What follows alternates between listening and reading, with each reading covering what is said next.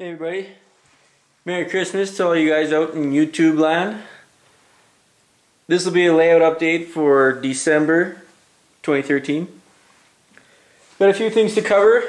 Uh, mostly working on those 60Fs again and some new rolling stock and a new locomotive. So let's get right into it guys. Let's uh, go downstairs and have a look at some of the newer rolling stock on my layout. I love getting an email from the post office saying I've got a package there from Via Rail because I know it's uh, model trains. These are from the uh, latest run that Rapido did for Via and you actually buy these through Via Rail uh, through their uh, collectibles shop like online shop or whatever so I think that's really cool that Rapido does that uh, for Via. I like uh, buying the models right from Via Rail. I think that's really neat. So I got uh, this run was a couple, two dining cars and two of the Chateau sleepers. Cool thing is, so there's a dining car. This is Louise. This was actually on my train trip that I took this summer.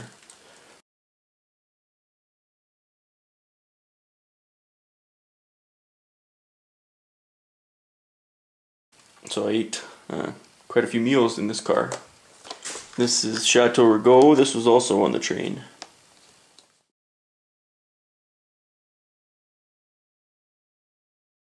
Really like that I can buy these from Via Rail. I think that's awesome.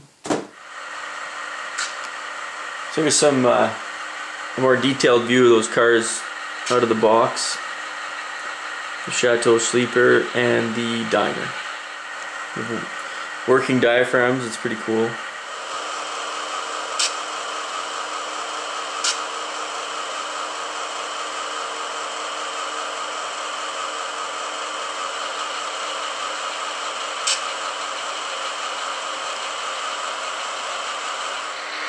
So as well as those new passenger cars that uh, just came in from Via, um, Overland Models had a a Black Friday sale, and they were selling these Athearn Genesis uh, Geep 38s for 140 bucks. So I couldn't pass that up, so I got another one of these Geeps. This one's uh, 4769.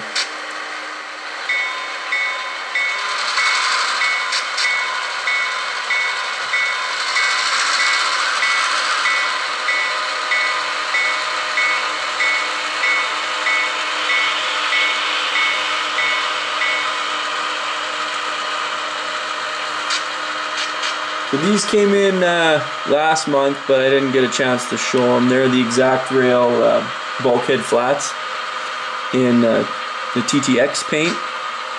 Super nice cars, and I don't have the uh, the wooden pieces put in the bulkheads. I haven't done that yet. I just took them out of the box to have a look and see what they look like. Just beautiful cars. If you go, the detail is really amazing on these.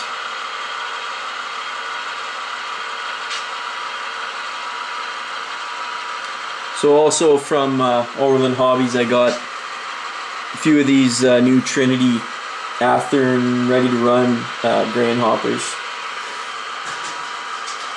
As well I went I ended up going back to the hobby shop in uh, Edmonton and bought the rest of the available road numbers they had of these CP Rail Athearn ready to run Trinity hoppers with the Soo with the Soo line numbers. Just really nice cars and fairly decent price too uh, being ready to run so. I got a few more of those. I think there's three of them left and I got they also had a couple of these new Intermountain uh, Grand Trunk grain cars so I picked up a couple of those. Those will go well with my uh, CN grain trains because you see these and uh, they definitely don't look like this anymore. They're so they're so rusted and worn out like there you can barely read the Grand Trunk marking on them but uh, it'll be cool to maybe try weather those up or something. So that's all the new cars I got over the last month or so. Let's uh, pop upstairs to the office and I'll show you guys where I'm at with the uh, SD60F that I'm building. So before I started putting uh, decals on, I put a coat, actually two or three coats of uh, Testors gloss coat down on the, pretty much on just the sides of the uh, SD60Fs. That's just to help the uh, decals apply to it. So this is what it looks like after it got the, uh, after the gloss coat and before any decals. And then here's the other one with the full set of decals applied to it.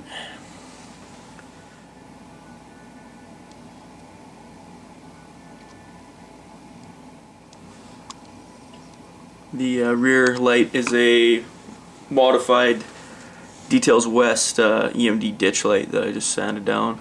So that's 55, 56. It's all done now and it's waiting for the uh, coat of flat um, Testors mat to go on it and then it'll be ready to put the final details on which are the window frames and windows stuff like that before I go ahead and wire it for lighting so that one's done and next up I'm working on this one. I just have the uh, the rear of it done.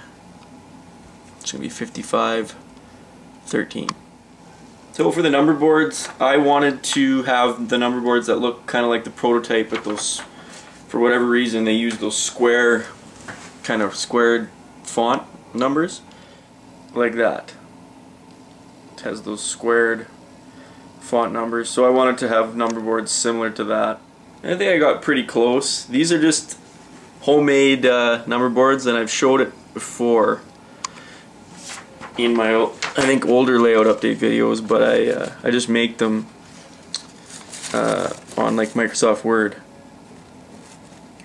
And the font is agency. And it's uh, 6 is the size in bold.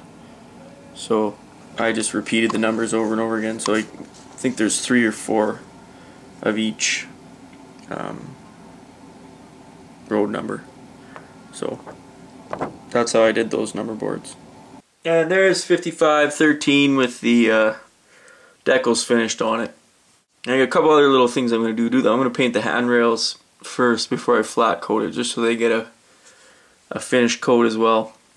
So a couple little more things, and then I'll be putting the final coat on these guys, and then it'll be on to lighting. One thing I want to show you guys, uh, definitely the hardest thing about decaling these is putting these stripes on because they're such big decals.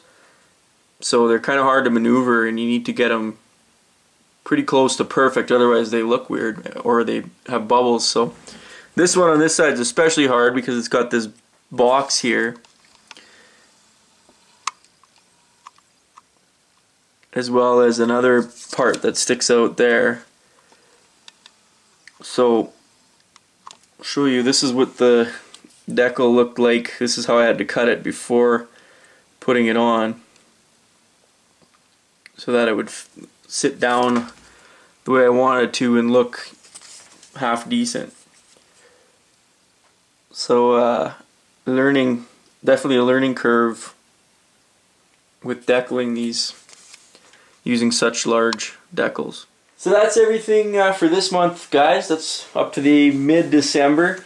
Um, really all my modeling time has been going towards completing these two units. It's, uh, it's been a long haul and I want to get them done and uh, earning their keep downstairs on the layout. So I'm going to keep uh, pushing ahead with these and hopefully maybe by Christmas or New Year I'll have them uh, running down the layout. So as always guys, thanks a lot for watching and I hope you have a fun and safe holiday season.